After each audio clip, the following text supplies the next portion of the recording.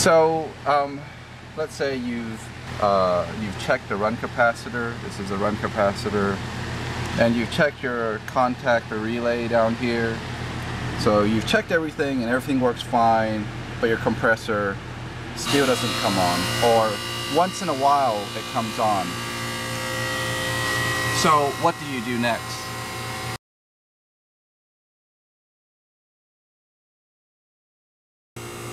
I'm going to measure the voltage right here. And you can see it's 224 volts.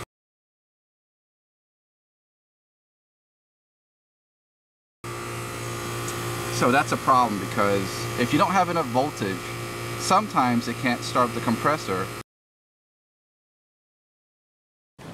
So let's first turn off the power at the breaker box. That's off right now. And then let's come down to the run capacitor. So before you touch the run capacitor, it's good to drain it. Um, this is the run capacitor.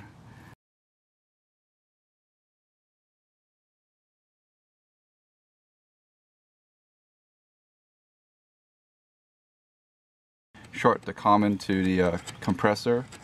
Make sure it's all drained out. So that's all drained out, safe to touch. Um, and right here, this is a super boost or a hard start. If you go online, you can look up uh, hard start for uh, HVAC and you'll get one of these. So the way how you hook it up is you can you take um, this unit and you connect it to the run capacitor and right here it says to compressor. So these two lines just goes to the compressor and ground. Doesn't matter how it's hooked up. So first I'm going to hook this up to one line goes to common. And one line this other line goes to the compressor. And how do I know that's compressor? Well, it says H-E-R-M on it. And you just leave it in there or tie it down. That right there will help start up the compressor when there's not enough voltage. One thing about this is that um, these starter hard start kits, these uh, that helps uh, to, to start up the compressor, one thing they do is they kill the run capacitor over time.